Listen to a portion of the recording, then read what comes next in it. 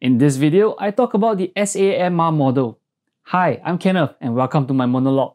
The SAMR model was introduced to me as a framework which helps educators reflect on how technology is being used to support learning. Created by Dr. Ruben Puentedura, SAMR is an acronym for substitution, augmentation, modification, and redefinition.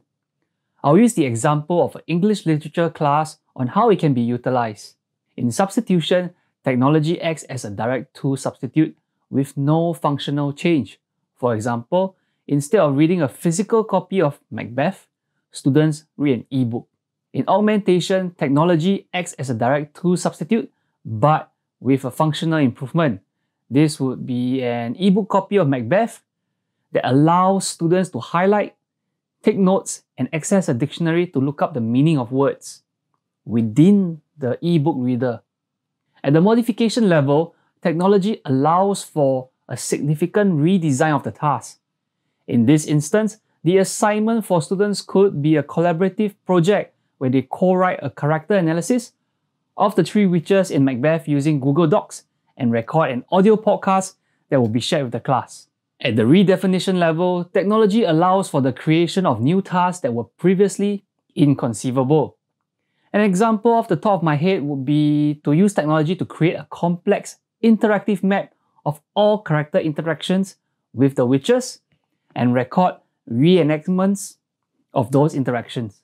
Now, if we look at the model, we can draw a dotted line across the middle, separating the substitution and augmentation from the modification and redefinition. The substitution and augmentation levels are viewed more as enhancements while the other two are more transformational in terms of how technology supports learning. Now here's my reflections on the SAMR model. The good thing about the model is that it's a simple guide, which is, well, simple to understand. And this allows educators to easily identify how they can incorporate technology into their lesson plans to support the learning. The bad thing is that there seems to be a lack of peer-reviewed literature on the SAMR model. Most of the papers I've reviewed seem to cite Dr. Ruben Puentedura's personal blog in the references. Now that we have covered the good and the bad, let's move on to the ugly. Given the absence of context in this model, it's possible that one can reach the redefinition level without making any significant improvements to learning. And that's my quick review of the SAMR model. Hey, thanks for taking the time to watch this video. If you found value in this video, please help me out by liking the video. And if you want more content like this, remember to subscribe.